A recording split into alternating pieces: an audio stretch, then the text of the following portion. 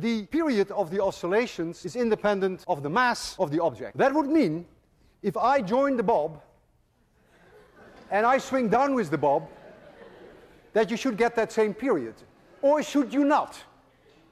I'm asking you a question before we do I'm this Walter Lewin. Awful experiment. I have been on the MIT faculty, physics faculty, for 43 years.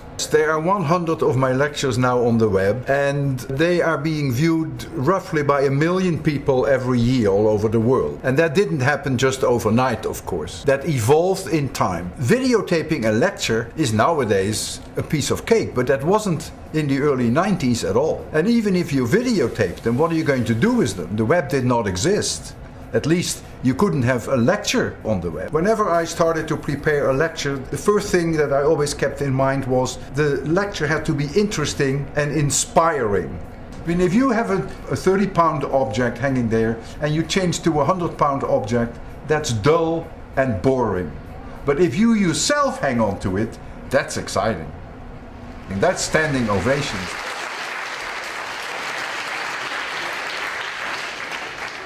Physics works, I'm telling you.